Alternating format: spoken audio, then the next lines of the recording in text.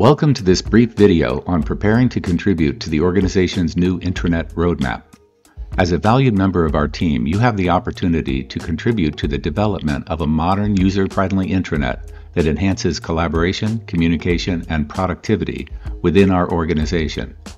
Soon there will be a series of design and planning meetings to develop our new intranet implementation, and these meetings are a critical opportunity for you to provide your input.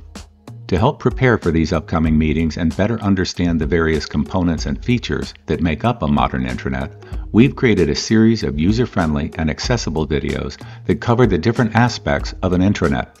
By watching these videos, you'll gain a better understanding of the key features and functionalities of an intranet and how they can be leveraged to improve your day-to-day work processes.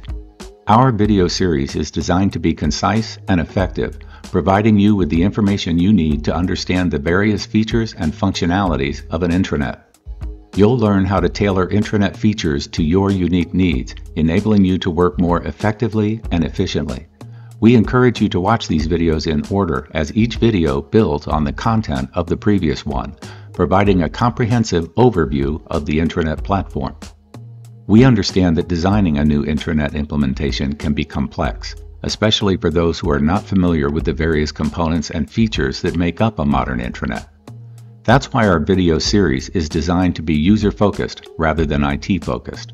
By investing a little bit of your time watching these videos, you'll be better prepared to contribute to the development of our intranet roadmap and ensure that we create a platform that meets the evolving needs of our workforce.